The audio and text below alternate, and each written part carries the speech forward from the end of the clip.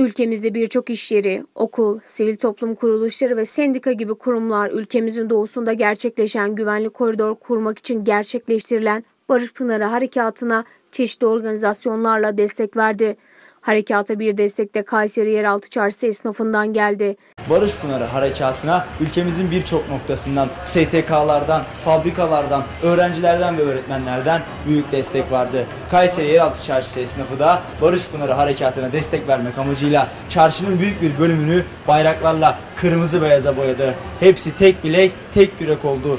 Güvenli terör koridoruna karşı Mehmetçiğin yanında yer alıyor. Esnaflar çarşıyı ve dükkanlarının camlarını ay yıldızlı bayraklarımızla süsleyip bizler de harekata destek için buradayız mesajı verdi. Barış Pınar Harekatı'na destek olmak amacıyla yeraltı çarşısı esnafı çarşının dört bir yanına ve dükkanların önlerini bayraklarla süslemiş durumda. Sizler bu konu hakkında ve harekatımız hakkında ne düşünüyorsunuz? Ee, Barış Pınar Harekatı'nda askerlerimize desteğimizi e, elimizden geldiği kadar çarşımızdaki bayraklarımızla süsleyerek göstermeye çalıştık. Ee, manevi olarak her türlü yanındayız. İnşallah muzaffer olarak e, ayrılacaklar, dönecekler. Hepsinin e, bekliyoruz bakalım. E, yurdun dört bir yanından, okullardan, STK'lardan, fabrikalardan, çeşitli kurum ve kuruluşlardan askerimize yoğun bir destek var, ilgi var, alaka var. Sizler buradan askerimize bir mesaj göndermek isteseniz ve Mehmetçiklerimiz bu yayınımızı izleseler onlara ne söylemek istersiniz? Ee, hepsine de e, oradaki yapmış oldukları operasyondan dolayı başarılar diliyorum. İnşallah kazasız, belasız hiçbirinin burnu kanamadan dönmelerini Cenab-ı Allah'tan niyaz ediyorum. Tam destek veriyoruz harekatında. Ve Türkiye'mizin sınırlarını korumak için çok gerekli bir harekat. Orada yani bir herhangi bir tampon bölge oluşması için çok gerekli bir harekattı. Her konuda ülkemizi ve e, askerimizi destekliyoruz. Türkiye'nin birçok noktasında STK'lardan, okullardan, fabrikalardan, işçilerden, e, sendikalardan askerimize destek için bu şekilde etkinlikler yapılıyor.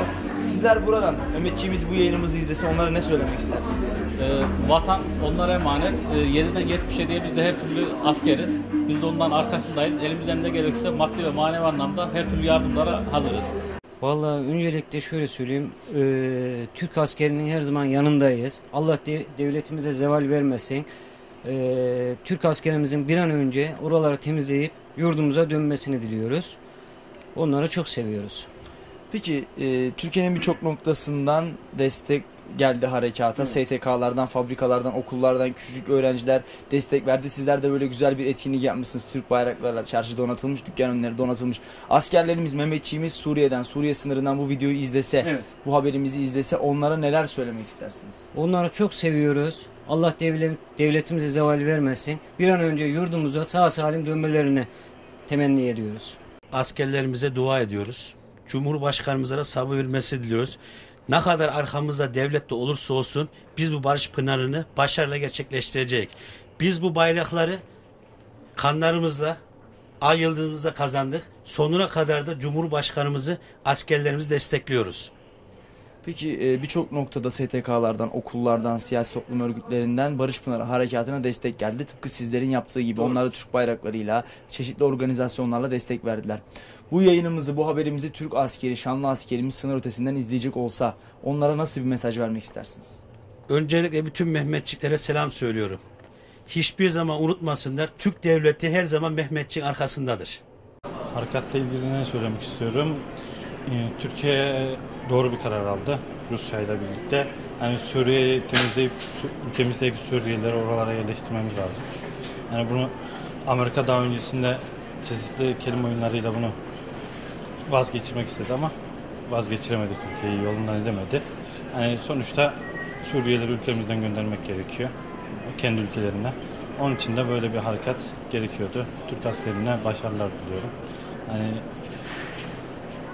ne söyleyeyim Mehmetçiğe orada güç kuvvet versin Allah. Peki son olarak şunu sormak istiyorum. Mehmetçiğimiz sınır ötesinden bu haberimizi izlese, onlara buradan bir mesaj verseniz ve sizi Süleyman Sürütepe olarak duysa neler söylemek istersiniz Mehmetçiğimize? Millet her zaman Mehmetçiğin yanında. Bugün devletimiz bizi de çağırsa seve seve canımızı vermeye hazırız.